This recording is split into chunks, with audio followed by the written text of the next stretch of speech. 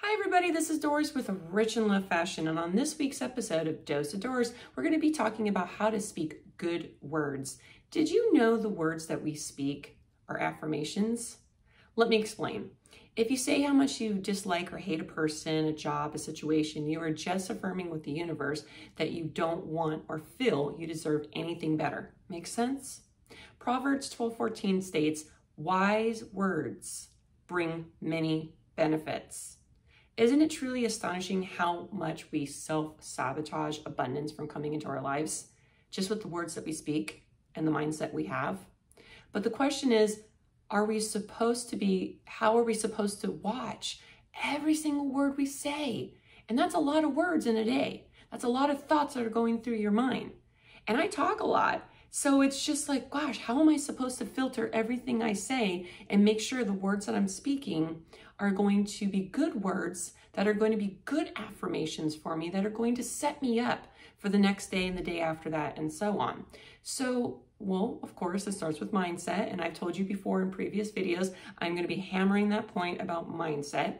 But it's also about how do we get there? If we get our mindset in check and we start speaking these words that are pure and good. So I'm going to give you a few examples that could help you start speaking and getting into a, a, better mindset shift, speaking shift in a way where you're going to start doing these as habits and routines and it's going to help. So number one would be watch the conversations you're having with certain people.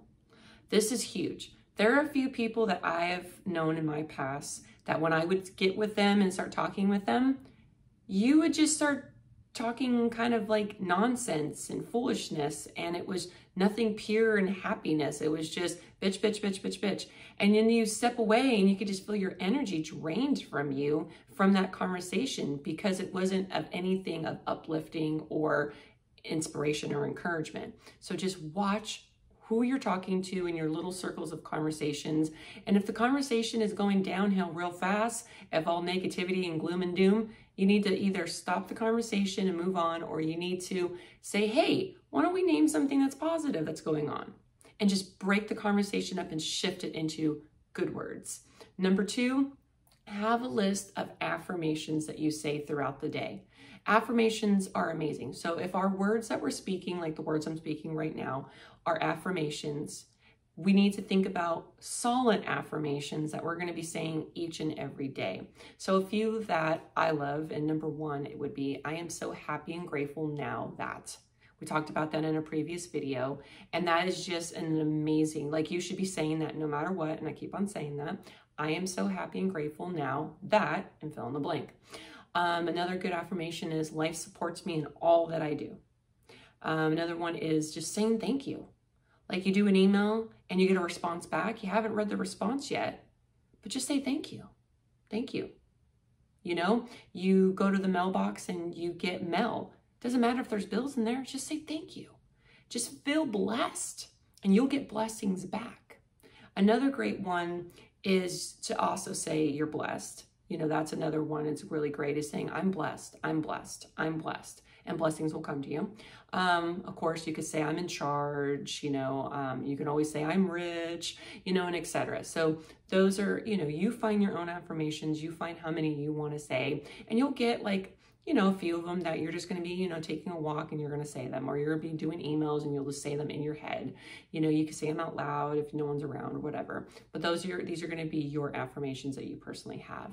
Another third one is is listen to guided meditation every night. This is where I started off years, years, years, years, years ago. I started off listening, and I'll leave the link below of some of my favorite ones. So maybe you can kind of like listen to them and see if you like them too. And they might, you know, help you find maybe the one that works for you best.